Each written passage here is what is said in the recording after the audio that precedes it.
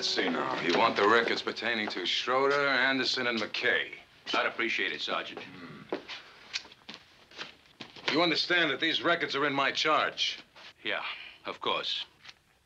We're dealing with uh, semi-classified material here. I don't want them bandied about. What do I have to do, Sarge? Come back with a warrant? Or maybe a personal request from the base commandant? Now, look, mister. Don't you try to pull rank on me. All I want to know if these guys were killed in action. If so, when? And who the beneficiary was. I'll give you the information. But in the future... I'll try to be a little more GI.